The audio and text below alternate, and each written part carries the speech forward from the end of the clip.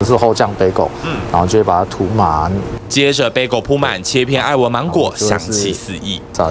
在里面一点点填补一些空隙，焦糖饼干增加口感，一刀切下，从剖面看，芒果透着微微光泽和奶油交织。我手上的这一款芒果 bagel，它是连锁品牌新推出的季节性商品。不过它除了是新品之外，背后和它一起联名的正是今年刚入围金曲最佳新人的乐团芒果酱。你们刚刚有抓到那个 bagel，有感觉到很 Q 弹吗？芒果酱立志成为台湾跟食物相关的乐团第一。日前举办试吃会，四名团员到场，超过五百名粉丝想抢这限量的四十个名额。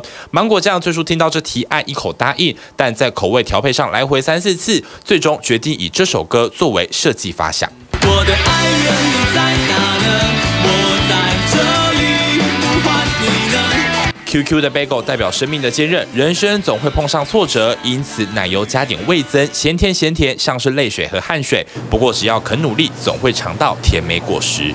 就是每次都开会开两三个小时，然后调很久，那最后终于我们获得了四个团员一致，就是好吃好吃好吃好吃。相信有金曲的加持，就是销售破万一定没有问题。同样也玩联名，镜头接着前进宜兰。